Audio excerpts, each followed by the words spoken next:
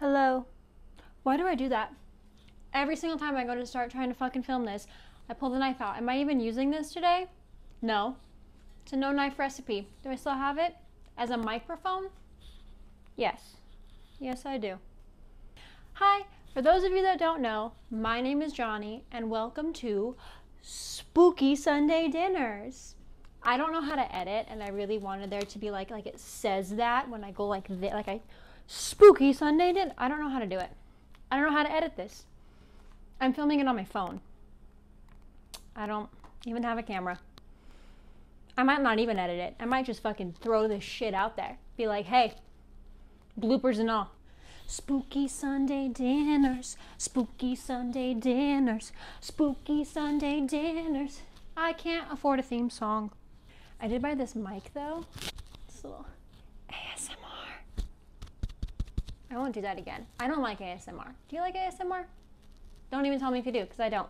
Anyway, this is Spooky Sunday Dinners. Now, I probably posted something about this on Instagram. I don't know yet. I don't even know if the world will ever see these. Maybe they'll go on YouTube. I don't know how to upload things on YouTube, so probably not. But maybe I posted like a little thing that was like, hey, this I'm doing this. You're probably thinking, why the fuck are you doing this? Well, I have a weird amount of knowledge about true crime. You probably know that by now, if you've ever talked to me. And I need somewhere to put it. So it's gonna go right here into my food because I also kind of know how to cook. And one thing I've noticed watching your stories on Instagram is that you don't. It's a little weird. But I'm guess I'm to be here to tell you like you need more garlic, you need less rice. A lot of you are cooking your eggs too hot. It's weird. Um but yeah, that's why I'm doing this. You can watch it, you can not watch it. My mom's probably to watch it. That's it. I don't know. Some really quick disclaimers. Hi. Um, number one, uh, these are not professional recipes. There is uh, no nutritional facts or anything that's going into me cooking this. I'm just making what I feel like making that day. If you cook this and you don't like it or you fuck up and get sick, it's not my fault. I'm not telling you that this is good. In fact, I'm telling you that this is mediocre. Two, we're going to be talking about spooky shit while we cook. That's what this is. True crime mostly. So, true crime, it's not fucking rainbows and unicorns. It's weird and it's spooky and it's dark. Do I make jokes about it to cope with the fact that I have an obsession with something so dark? Yes. Is that going to offend some people? Probably. So before you comment or send me an angry email that this story has offended you, I don't give a fuck. Channel it. Write it on some toilet paper so it doesn't go to waste. I don't know what to tell you. If you don't want to watch it, don't watch it. Don't be a Karen. You know what I don't like? Karens. Fuck off, Karens. Okay, so this week we are going to be making barbecue chicken sliders. Now, this is going to be kind of interesting because I don't eat meat or dairy, and the two main ingredients in this are meat and dairy. So, I'm to be making this and not tasting any of it. Now, maybe you're wondering, Johnnie, is this food to go to waste? No, my boyfriend eats both meat and dairy. So, I guess we will call these segments where I can't eat it Oh, hashtag dinner for Doug. His name is Doug. I didn't just like make up that name. Could you imagine? Dinner for Bob. No, his name's Doug. It's dinner for Doug. You're welcome. I'm not gonna be able to taste any of it, so it's gonna be really interesting. Now, while we do that, I'm gonna be telling you the amazing, one of my favorite true crime stories. Some people say that she's a serial killer, others say that she's just the ultimate bitchy Karen. We're gonna talk about Typhoid Mary. The reason we're going to talk about Typhoid Mary is because I've called a bunch of you Typhoid Mary, and it's really sad that you don't know why I'm calling you that. You're a Typhoid Mary. Let me explain why. So, first things first, I'm going to tell you what ingredients I'm using before all of this starts, as I'm using them, maybe I'll put like some words up what I'm doing. I don't know yet. I don't know yet, okay? I don't know what you want from me. I'm trying my best. Step one, I've got a boneless, skinless chicken breast in a pot of water, and I'm gonna bring that to a boil. Now, while I bring that to a boil, I'm going to add salt, pepper, and garlic. Now, I know what you're wondering. Johnnie, if it's going to a boil, are the seasonings really that necessary? You know what? Yeah, because I want to. Am I gonna season it again after it's boiled? Probably. I like a lot of seasoning. I don't know what to tell you. We are also going to need a shit ton of sharp cheddar cheese, as many King's Hawaiian rolls as your heart fucking desires, and the number one thing I think is so important on any barbecue sandwich, some delicious kosher dill pickles. Are we gonna slice them up because I didn't buy pickle chips? Yes, we are. Now, could we have made a slaw to go on these? Probably. Do I like coleslaw? No. Do I want to make coleslaw? No. If you want to make it, fucking remake these and put a slaw on it and tag me in it. I don't know what to tell you. I'm not doing it. I don't like it.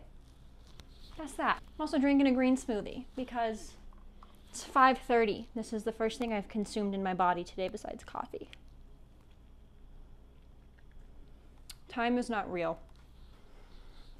I've got my chicken in my water. We've got a shit ton of salt, a shit ton of pepper, and even more than a shit ton of garlic powder. And when you think you have enough garlic, you don't have enough garlic.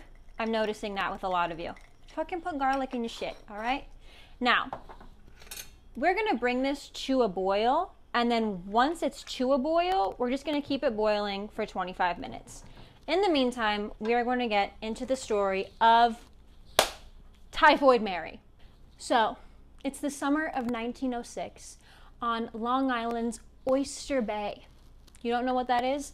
I didn't either. This spot was like the spot for New York's rich and famous. Just to like put it in perspective, fucking Teddy Roosevelt had his summer White House there.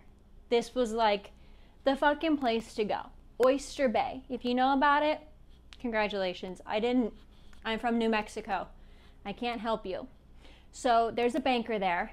Now, when I say a banker, he's a fucking banker for New York City's most elite. And he's vacationing there, right?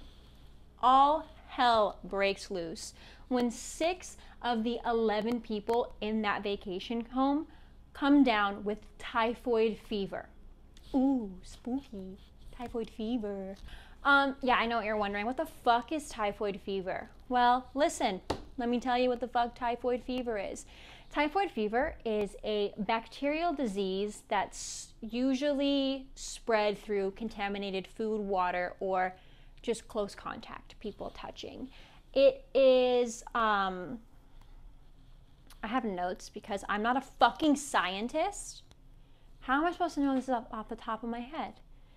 A lot of big words. I had to Google search how to fucking pronounce some of this shit.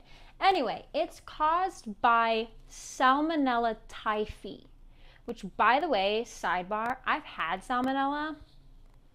It's not the vibe. Doesn't pass the vibe check. It's fucking awful. It's the shits. Literally. Anyway, um, back then, this disease was viewed to be a disease of, quote, the crowded slums and tenements in New York.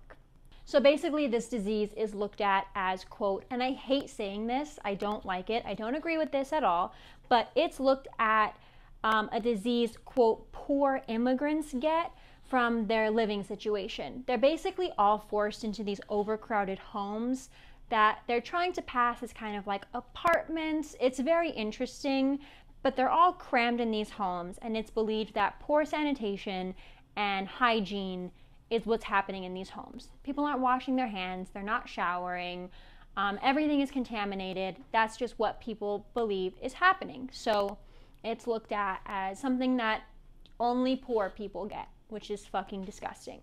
So imagine when a rich ass fucking banker on Oyster Bay has an outbreak in his vacation home.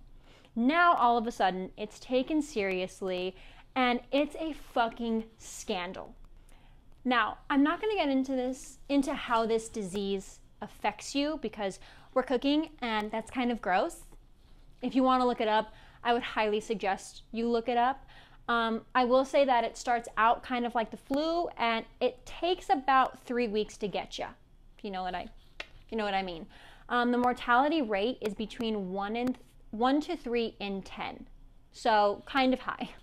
Now you have to imagine we're talking about a time when washing your hands was not like a normal practice. This is the early 1900s. It's not like how it is now in 2020 where we're using hand sanitizer every five seconds and washing our hands for over 20 seconds every fucking hour. Well, most of us are.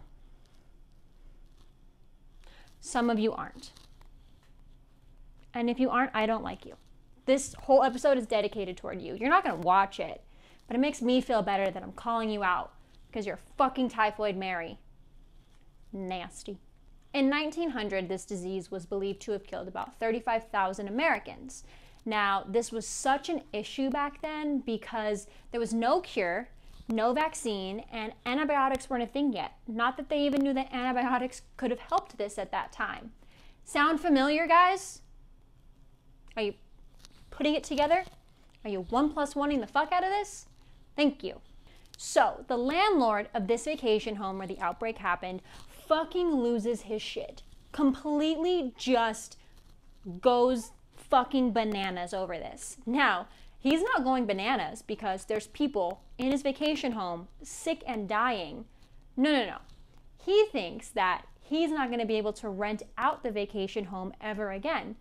This was back when someone got sick with something like typhoid fever. Anything they were around or touched got burnt to the ground. They fucking Velveteen Rabbit the shit out of everything. Which, by the way, super random sidebar. Did any of you guys get that book like read to you at a young age? And then like you were afraid to tell your parents you had the flu? Because they like you thought that they were gonna like burn all your toys? Because that was a fear I had like way past needing to have it. Like till I was 12. I was like, fucking, I don't think you're gonna burn my WrestleMania Wrestle Buddies. Fuck that. No, I don't have a cold.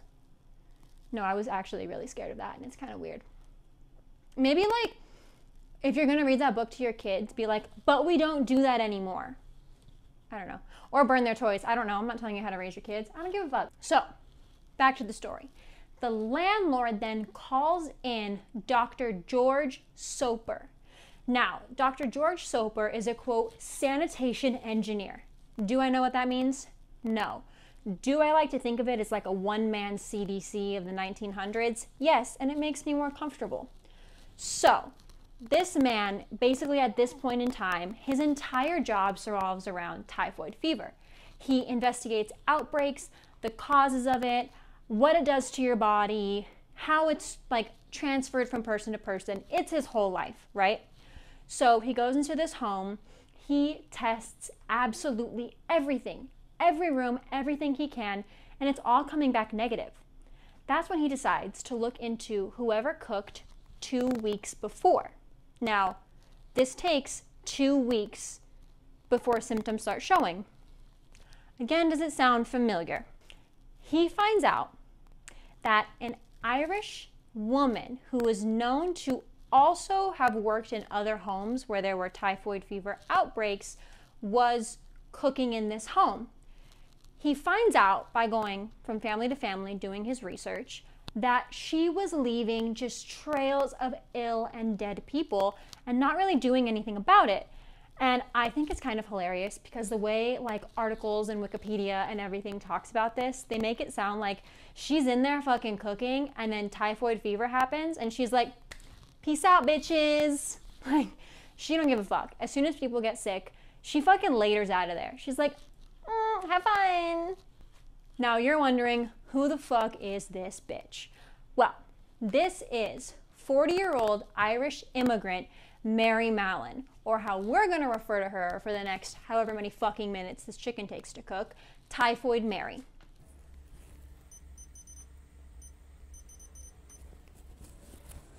Speaking of the chicken, it started to boil, so I set a timer for 25 minutes. Now, we're not gonna be completely done cooking the chicken at that point, but we're gonna boil it so again, nobody gets fucking salmonella typhoid fever shit up in this apartment because I ain't no typhoid Mary. I washed my hands before that. Did I wash my? I washed my hands before I did this. So back to it. Typhoid Mary, I know it's not nice to call her that, but you're gonna agree with me by like the end of the story, don't worry. Typhoid Mary migrates to the US at the age of 15 and she lives with her aunt and uncle in New York. Now, the only job that she can get that pays really well at this time is being a cook. So she goes into these different houses and she is their cook. She fucking meat and potatoes it up for them. So Dr. Soper goes all PI on this bitch, right? And he decides he's gonna start stalking her. Now, after stalking her, he finally tells her, like, girl, you are fucking spreading this disease. She is like, yo, you need to fuck off, get away from me. I'm not sick. Now, it's said that when George Soper, Dr. Soper, told her this initially, his bedside manner was that of an angry man seeing people die. He wasn't happy about it. So he's kind of yelling at her, like, You're spreading this shit. Now imagine you're a 40 year old immigrant woman who's been cooking to make ends meet, and this doctor that you have no proof he's a doctor just starts screaming at you that you're killing people. I probably would have done the same thing she did. She's like, You need to fuck off and you need to get away from me. He then tells her that she needs to give him samples of everything. I know, it's kind of gross. But naturally, she's like, get the fuck out of here. And she chases him away with a giant kitchen fork. Now, if that's not an image you appreciate, I don't get you. So she chases him away with this giant kitchen fork. And he decides, okay, we're not going to go that route. I'm going to go all investigator on her. So, investigator on her, invest detective on her. You know what I fucking mean. Anyway, he finds out that in the past five years, Mary has worked for eight families. Seven of these families had typhoid outbreaks. You gotta see like the connection, girl. Now, this is a bigger deal than it seems because without even knowing it yet, Dr. Soper just found the very first asymptomatic carrier carrier of typhoid fever in the United States asymptomatic, an important word that a lot of you need to fucking learn. That's how you are not sick, but you give it to other people. Do we yet see the connection? Because I've yet to say the words COVID 19, but I feel like I need to now. Now, seven of these families had outbreaks. I'm not going to go into the story of each of them. If you want to look that up, do it. I don't have enough time. This chicken's almost fucking done. And we got to fucking put the sliders together. All that good shit. Now, it's determined that Typhoid Mary was passing this disease by not practicing proper hygiene when preparing food. She wasn't washing her hands, or, like I did to the chicken before I put it in the boiling water, washed it, right? She's not doing any of that. Now, I know a bunch of you fucking anti COVID believers and anti maskers are gonna come for me on this because you're gonna say, well, wasn't the temperature she was cooking her food like it would totally kill the disease? You would think, right? but not for the homemade ice cream she was making these families. It was her famous homemade ice cream with chopped raw peaches. Picture her dirty hands just cutting raw peaches, just putting it in the I, I can just see her like massaging ice cream with her bare hands. Cochina. That's probably not how it happened, but that's how I like to see it. So now that we've talked enough about contaminated food and you're really in the mood to eat, our chicken has been boiling for about 25 minutes. So if you're like me, you're kind of nervous about cooking chicken, you don't want to give anybody salmonella, or maybe you do, I don't know, I don't know your home life. Um, you can just take a knife in there, cut it open, make sure there's no pink. You want to make sure that your chicken is fully cooked when you do this. Don't be fucking weird and eat fucking medium rare chicken. That was a burp. But now that our chicken has been boiling and it's fully cooked, we're gonna get a set of tongs. And a large bowl, and we're gonna take our chicken out from the boiling water and place it in this bowl. Like so. See, this is a cooking show. It's not just true crime. LOL. Make sure you turn off your boiling water because I never do that and it's kind of weird. So now we've got our boneless, skinless chicken breast all up in here. We are going to, because we're not Typhoid Mary and we practice safe fucking cooking, put some gloves on. You don't have gloves? You don't want to do this? Look, if your loved ones trust you enough, don't do it. Not only these, we're also gonna get two large forks and we're just gonna go in and shred the fuck out of this chicken.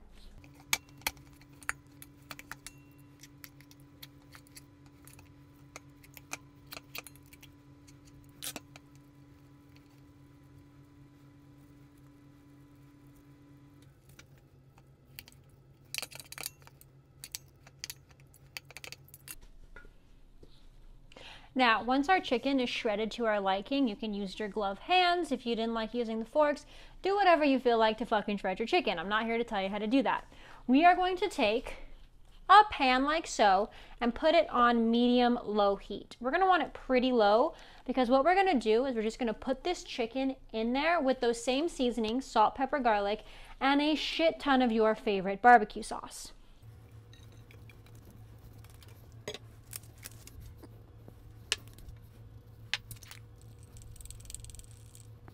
Now, we really like Sweet Baby Ray's in this house. If you don't fucking like it, use whatever barbecue sauce you want.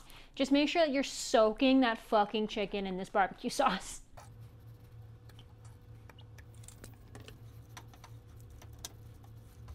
Now, we're gonna put that on a pretty low heat setting and just let that barbecue sauce soak into the chicken for about 10 to 15 minutes. Don't fucking touch it. If you maybe wanna stir it around once or twice, add some more barbecue sauce, but don't overwork this bitch, okay? Work smarter, not harder. The New York City Health Department has now gotten involved. Mm, like, Mary is freaking out at this point. She's so pissed. And she's like, No, I'm fine. I'm not sick. Fuck quarantine. I would never do that. Do you see what you sound like? Do you see how gross you are? Now, at this point, they call in badass Dr. Sarah Josephine Baker. And Mary thinks now that this is just getting personal. They're all coming for her because she's an Irish immigrant. And she's right. At that time, they treated immigrants like shit. Irish immigrants in New York in the early 1900s, they treated them awful. But in this particular situation, Mary is killing people and spreading a disgusting disease because she's not practicing proper hygiene. So, Dr. Sarah Josephine Baker is finally like, fuck this. We are going to take Mary into custody. So in 1907, Mary is arrested as a public health threat. Now, she it takes 5 policemen and Dr. Badass to restrain her, to arrest her.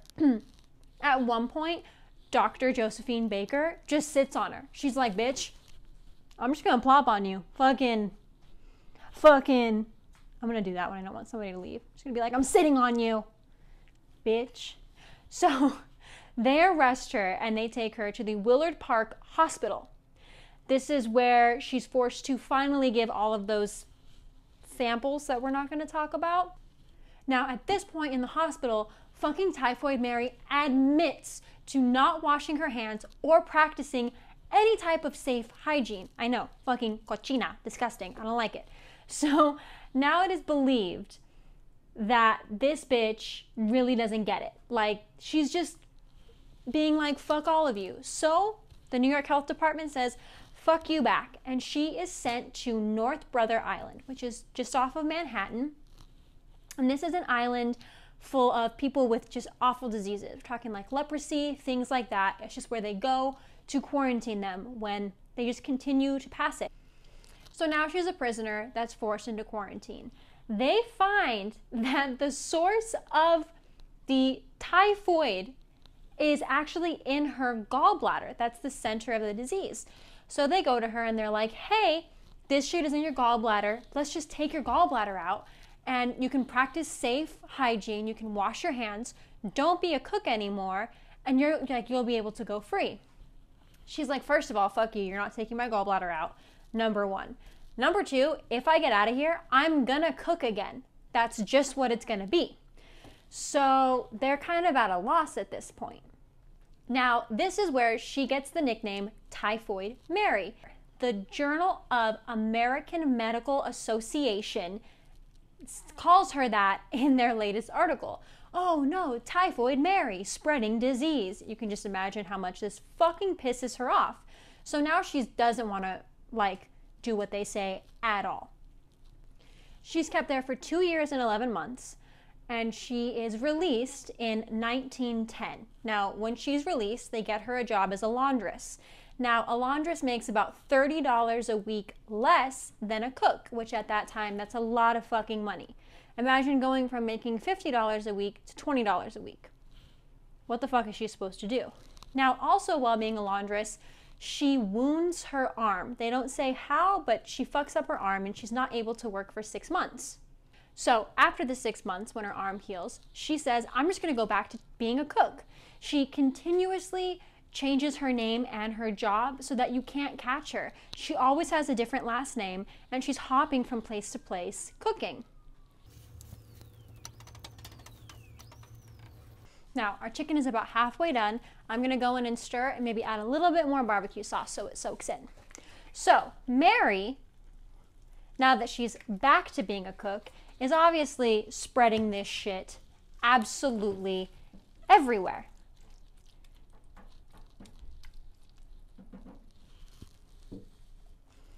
She's spreading this shit everywhere.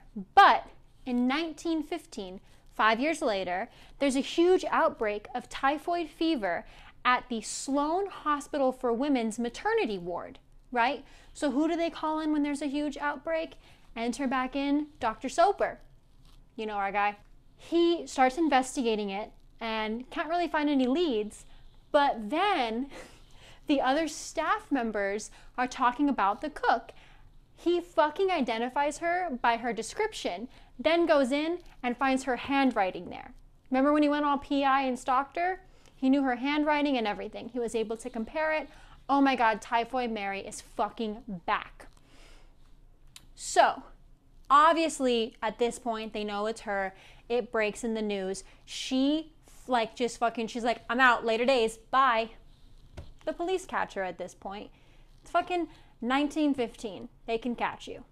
Fucking, what are you gonna do? Now she is sent back to North Brother Island and she's going back into harsh, harsh quarantine. She spends the next 23 years as a prisoner in forced isolation. Not a lot comes out about her during this quarantine. It's pretty quiet news kind of dies, people start understanding the proper precautions they need to take when it comes to typhoid fever. But what's really funny to me is that it said at one point, Mary on this island was actually working in the lab. She was working um, with like cleaning and preparing like stations for pathologists. She was also working on um, like helping them record things and stuff. She was just in the lab. Like fucking Typhoid Mary was in the lab. Fucking gross. Imagine on this island of disease.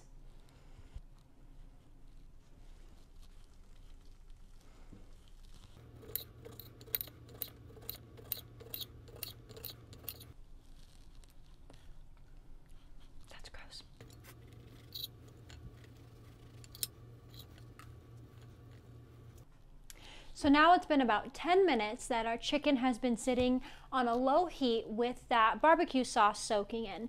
The next thing we're gonna do is we're gonna take some of our King's Hawaiian rolls. I'm taking four, and I'm just gonna slightly toast them in a skillet. Remember that when you're cutting these open, you want to use a serrated bread knife. Don't be weird and not do that. It's very important.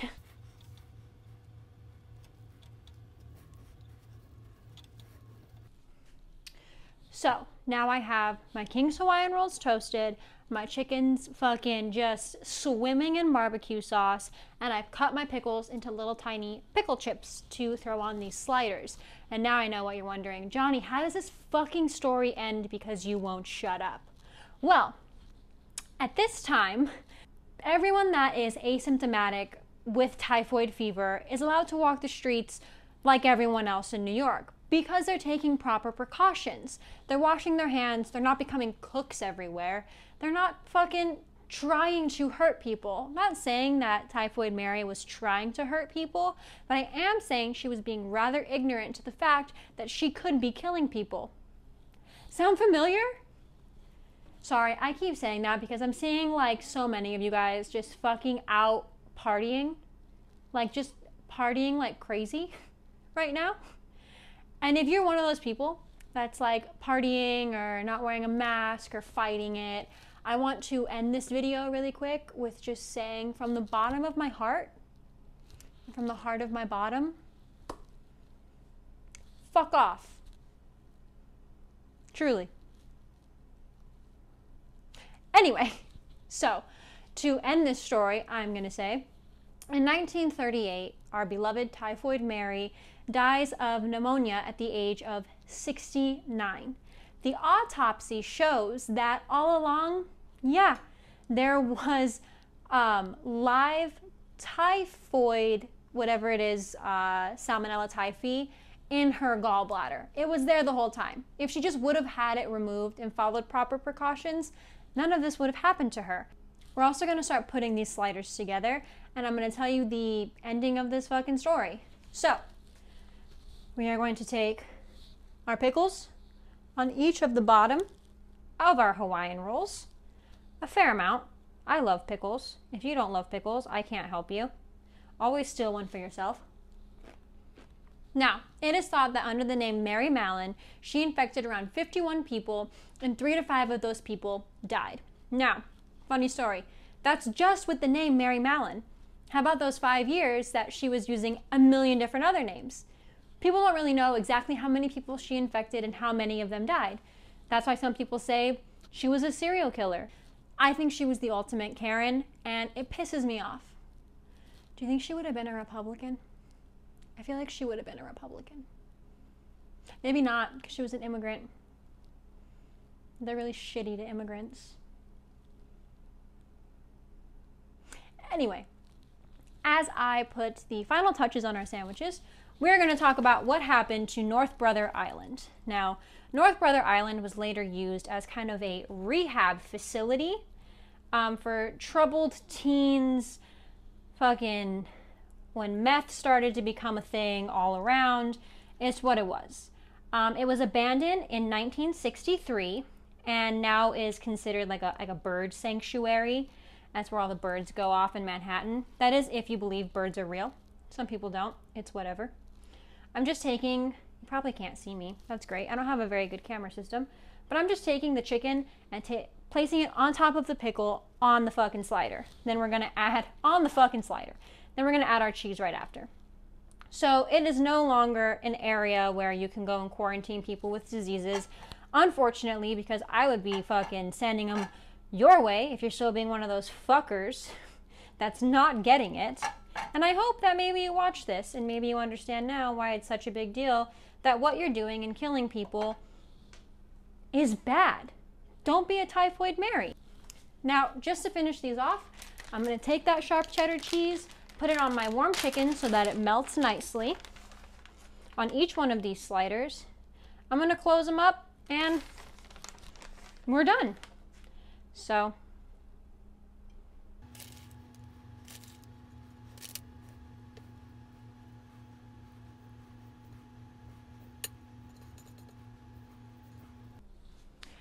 So here's our finished product. I hope we had a really good spooky Sunday dinner. I hope you make these and pair them with a nice side dish. I didn't feel like fucking doing that.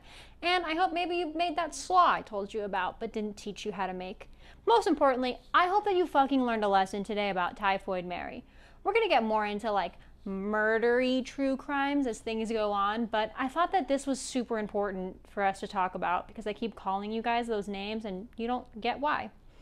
Also, really funny, just between you and I, whoever's watching this. This is my second episode I filmed.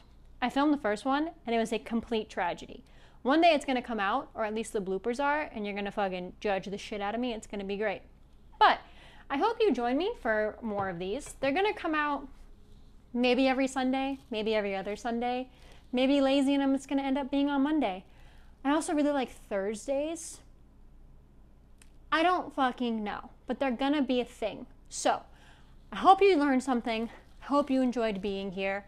And I hope you continue to watch. And remember, uh, fucking spooky Sunday dinners. True crime and dine. Thank you for watching Spooky Sunday Dinners. I am still singing. Still can't afford a theme song. Blah, blah, blah.